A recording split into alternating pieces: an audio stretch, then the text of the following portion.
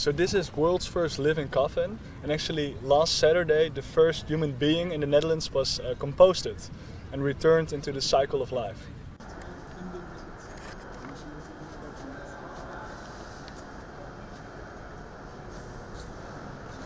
Dus dit is, die, dit is die, die, dat spul. Ja, dus dit is zeg maar puur de paddenstoel en puur dus de vrucht van het echte organisme. Dus dit is de appel en dit is de appelboom. It's together with the mycelium and a lot of microorganisms inside, that you can see here, uh, that's going to fasten up the decomposition uh, process.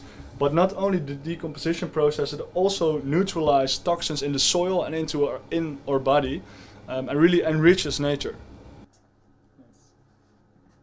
You can't plant these things, right? No. Het is wel een intensief uh, proces. En dat, ehm, ja, hoe zeg je dat? Jullie hebben, er is al iemand in. eh, Ik ben er wel, maar ik, ik ben nog een interview aan het doen. Voor de Franse pers trouwens.